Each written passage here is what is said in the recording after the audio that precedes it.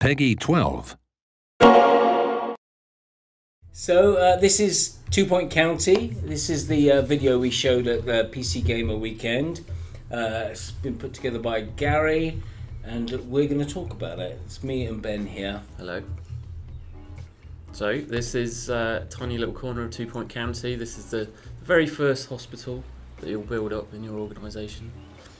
The little village of Hogsport. So into the first level. Now we've kind of uh, messed things up a bit here. This is one of the early levels of the game, and um, But with more stuff unlocked than Yeah. you would uh, you know usually have. yeah, a lot of stuff you're going to need to uh, get further into the game. You're going to need to research, and you may unlock things with um, In different ways. in different ways. yeah. Completing objectives and things like that. So Gary's just putting together uh, the very basics of, of a hospital, reception, Reception. an assistant. Yeah, assistants have quite a few different jobs actually, not Yeah. just receptionists. Yeah, so- yeah, yeah. There's a few few different things uh, that they can contribute to around the hospital. yeah. Some very very cool things as well. And so- they, they'll have needs like other staff Mm. as well. They'll, they'll have to go on breaks. They'll, you need to keep them happy. yeah. So the, the old game that we made many years ago, Theme Hospital. I mean, I think the receptionist was just a robot that just uh, never had any needs and size. And we kind of worked really hard on trying to add a lot more personality into into the staff. Should we talk about the room building as it's on the screen? Yeah, yeah. You can see uh, the, the room doesn't have to be rectangular. You can build it up out of individual cells and make it whatever shape you want. As long as it's all connected, it's fine. Um, and then you can decorate it with all sorts of different items.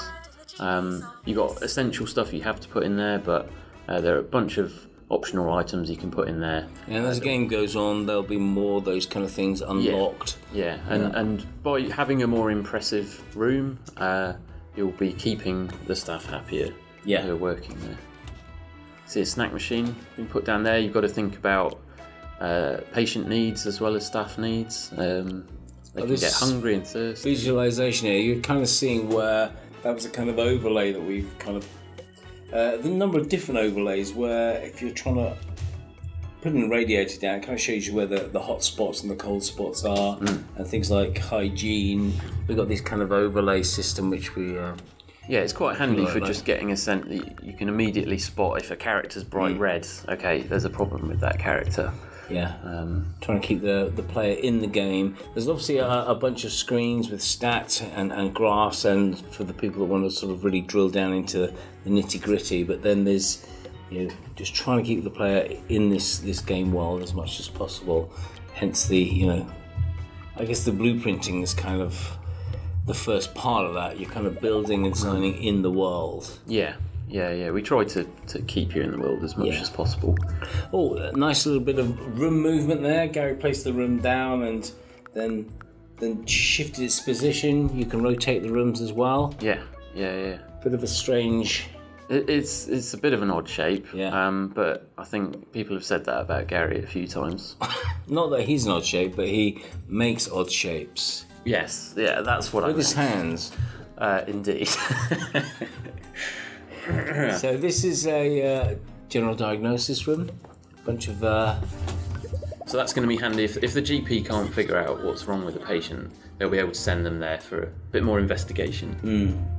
So the, the flow of the patient through the hospital is try and find out what's wrong with them, diagnose them, uh, maybe have to research uh, their illness, maybe research different diagnoses for them, and then hopefully, ultimately, treat them. Or Yep. if you can't do that, send them home. You can see a few icons above people here as well, and a ghost.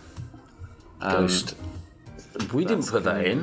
no, What's that? that's emergent behaviour right there. Someone's died and gone to Ghostland. um, So this is uh, an operation, uh, an operating theatre. One a, a doctor getting ready. You see a nurse is uh, still needed there. That icon above the room just Yeah. telling you that There's the nurse getting nurse ready. It's, um, oh, there's the operation. Operation having gone pretty badly by the looks. I looks love the it. fact that the uh, the guys, or the, the the patient's always looking at the doctor. Oh yeah. So you See, see- I think they need an anaesthetist, don't they? Well, that was a that was something that just sort of came out, wasn't it, when Tim put in the the looking at. Yeah, yeah. Then you're sitting on lying on the operating table. That's a nice, uh, nice uh, X-ray. And this, Cool. you talk about the traits actually, Ben. There's, Yeah, well, uh, this doctor thinks of himself as being a bit of an entertainer, so uh, he's going to have a little celebration after another successful X-ray. Yeah. So yeah, there's a uh, an MRI machine, and that's that's much later into the game. Uh, you know, you're gonna That's, need to uh, yeah, do, unlock a few things, uh, research a few things before you got those kind of uh, diagnosis. quite a powerful machine, but Yeah. Here's the diagnosis machine here. The um, fluid analysis. fluid analysis.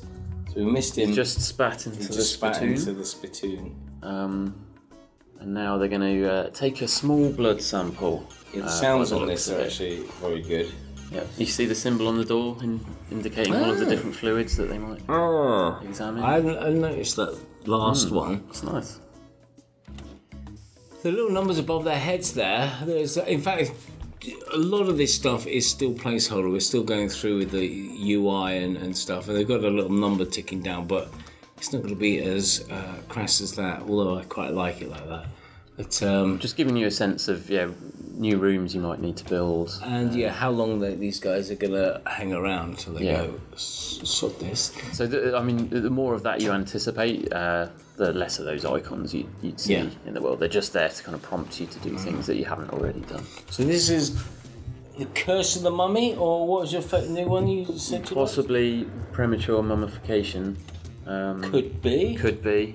You know, Yeah. if you think one of your relatives has died and you go through the complex mummification process only to realise that they're Actually, just having a they're all right. Yeah. Yeah. So been unwrapped there. Oh, she hasn't been cured though.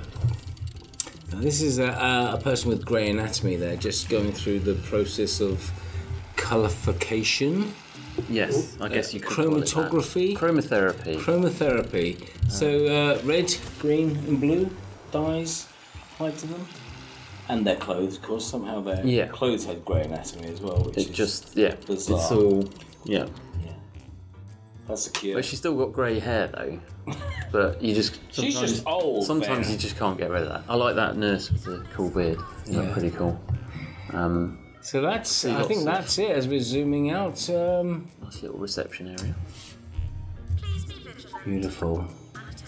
So that's just an example of uh, a small hospital you can build in the game. And that's it from us. Thanks very much for listening.